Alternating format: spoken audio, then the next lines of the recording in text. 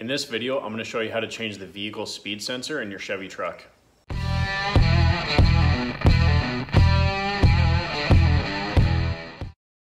And if you wanna learn how to fix your vehicle, do budget restorations, troubleshoot equipment, and all sorts of other types of garage related stuff, be sure to subscribe to Midwest Garage so you don't miss anything.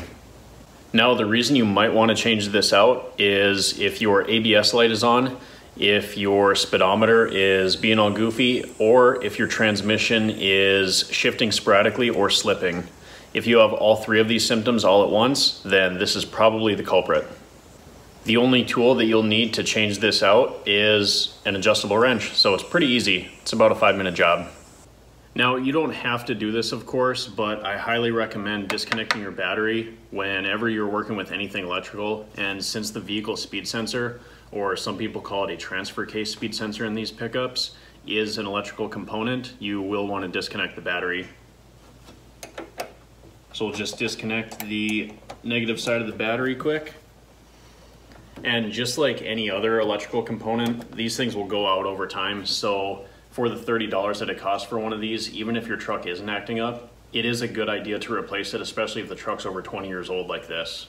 Now getting underneath the truck on the driver's side, up there's your engine, there's your transmission pan, cross member, transfer case, and then that right there is your vehicle speed sensor.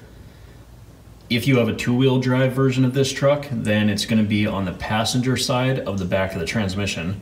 But since this is four-wheel drive, that's our speed sensor right there.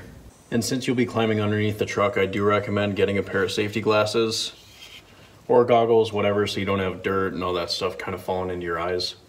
So the first step is just pull these two tabs to release the electrical connection. Just like that, and you can set that aside.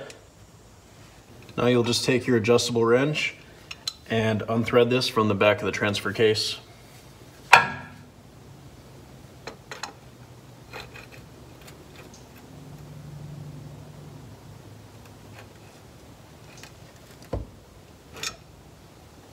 And it should come loose pretty easily.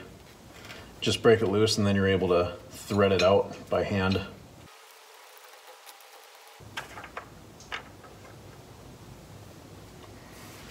And as always, make sure you compare the new part to the old one.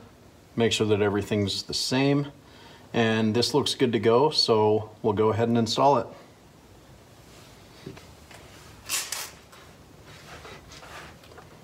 And it just threads right in.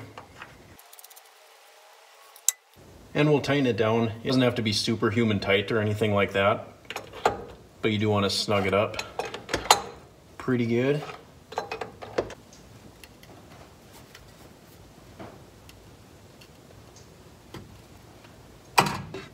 And next we'll take our electrical connection and just plug it back in. So if you guys are having transmission issues, your ABS light is on, or maybe your transmission is just kind of slipping or it's not shifting correctly, that's definitely something that I would look into. The problem with these is they usually don't throw a code, so it's kind of tough to diagnose at times but it's definitely something you should look into and spend the $30 on this before you go ahead and spend a bunch of money on shop repairs and diagnostics and all that kind of stuff, looking for transmission problems when that might not even be the case. Now the last step is to just reconnect your battery, fire up the truck, and see if it solved your problems. If you guys like this video, please give it a thumbs up. Consider subscribing to Midwest Garage and let me know down in the comments if this video helped you, because that's one of my favorite things is when I get comments from subscribers letting me know that my video actually helped them out. Thanks for watching, guys, and I'll see you in the next video.